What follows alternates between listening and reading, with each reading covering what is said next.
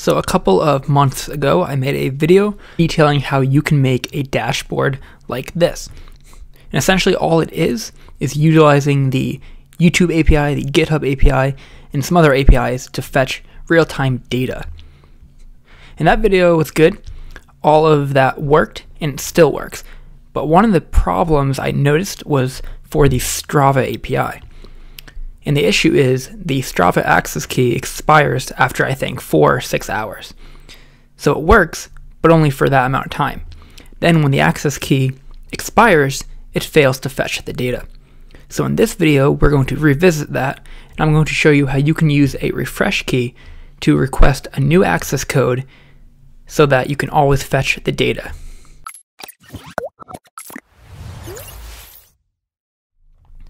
So here is an example on my website. As you can see, the data is still there. And if I do a hard reset, we still get the data. So that's what we're going to be doing in this video, this line here. So if you don't already have a Strava application, go ahead and create one. You can navigate to strava.com slash settings slash API, and you can create it right there. And then the keys we're going to need are the client ID, the client secret, the access token, and the refresh token.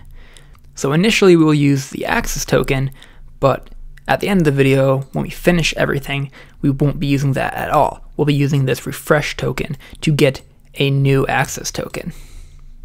So here is my code for this project. It is just a blank Next.js application. So I'm going to open up the API folder and just create a new file called strava.js. Uh,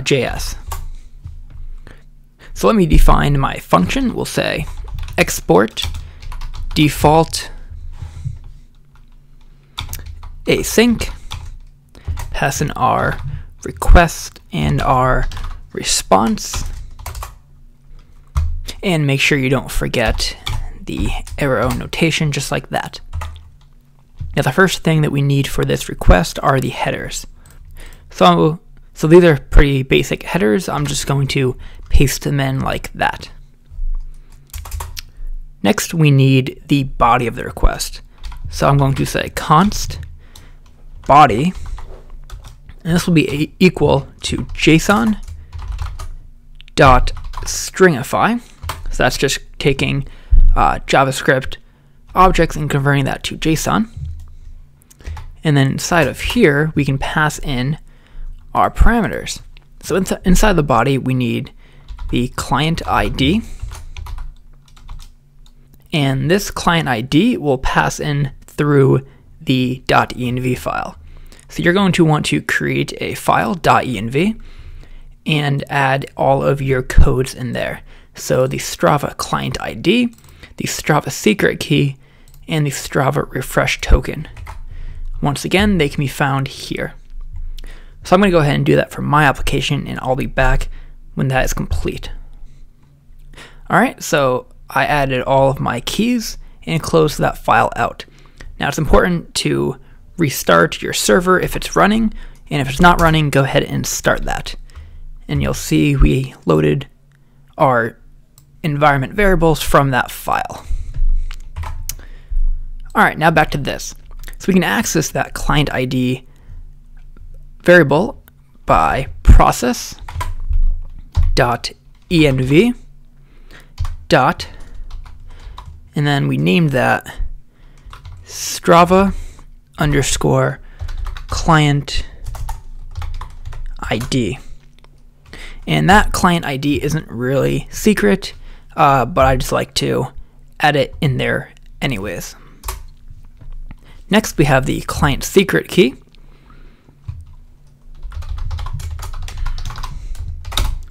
And we can grab this the same way, except we named this Strava underscore secret. And then next we have the refresh token.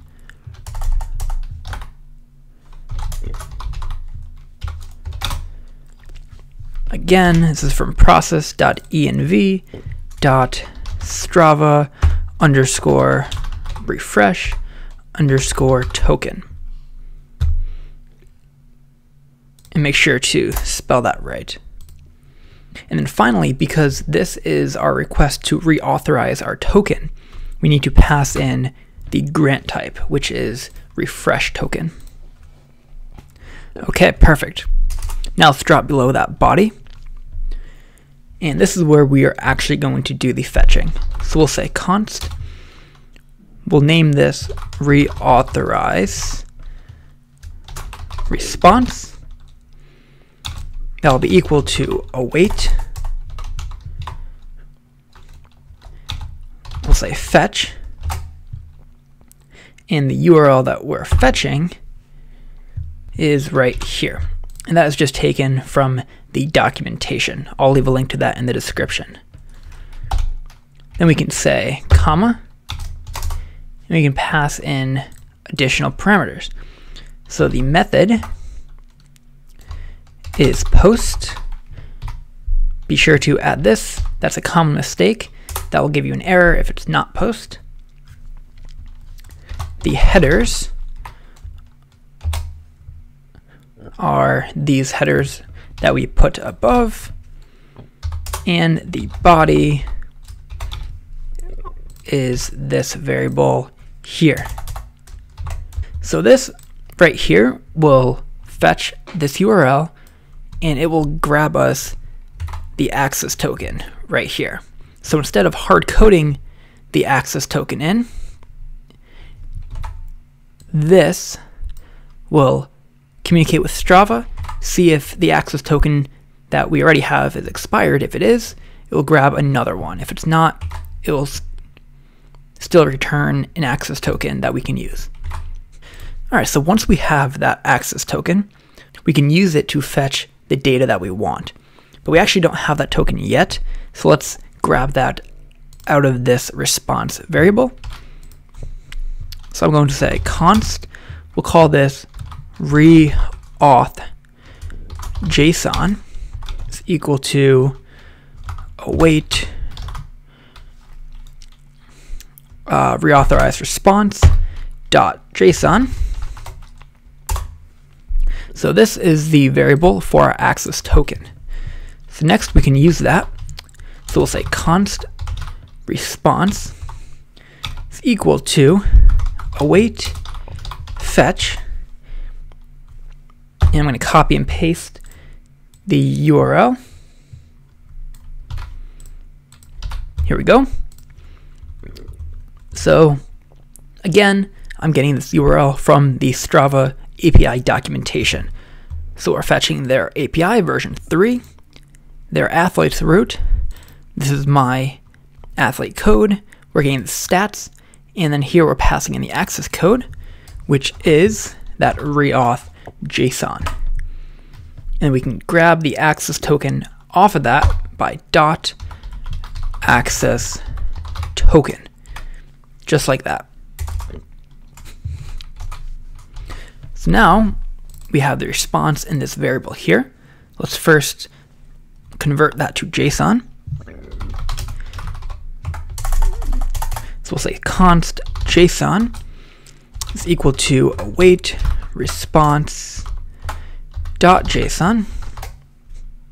And then this object here, this JSON, is the JSON response that has the run count, the distance, the byte count, all that data that we want. So we can use, so we can extract the data that we want out of that. So I'll put a screenshot of what the response looks like so you know where I'm getting this next part from. So let's say const Let's grab the count and the distance. And that's from JSON dot all run totals. And then we'll say const, then the moving time. That is from JSON dot all run totals dot moving underscore time, just like that. And then finally, we need to return that so we can access it in our application and display it to the user. So we'll say return res dot status of 200 dot json and we'll just say count comma distance comma moving time and there we go so this is the complete code last time we just had this part which worked because we are passing in our access token here but again, like I said, it was hard coded. So when that expired, this would fail and we wouldn't get anything back.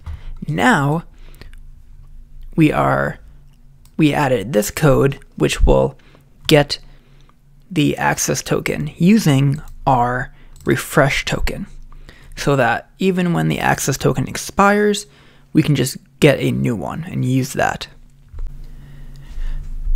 Alright, so let's go ahead and test this out. One of the nice things about Next.js is that I don't have to code up a view to actually see if this is working. I can simply go here, go to slash API slash Strava. And this, I should be able to see the JSON response. Okay, so we're getting an internal service error. And if I go to my terminal, so it can't read the count because it's undefined. So I'm going to guess that we have some sort of spelling error. Yes, so see client ID. This should be client like that. Now we go back here and refresh. There we go. So as you can see, we're getting a JSON response. We're getting the count, the distance, and the moving time. And we can verify that that is indeed correct by going to my website, and the count 2056 is the same. The other two stats will be a little off because I converted them to miles and hours, and the response here is, I believe, kilometers and seconds. So the final step is to actually display this to the user. So I'm not actually going to do that in this video because I already, like I said, made a video with that. So I'll link in the description and in a card right now to that video. So if you want to see how to grab that on the client side view and display that to the user, you can do that there. Anyways, thanks for watching guys. I hope you learned how to interact with the Strava API and generate a new access token with your refresh token so that it will always work.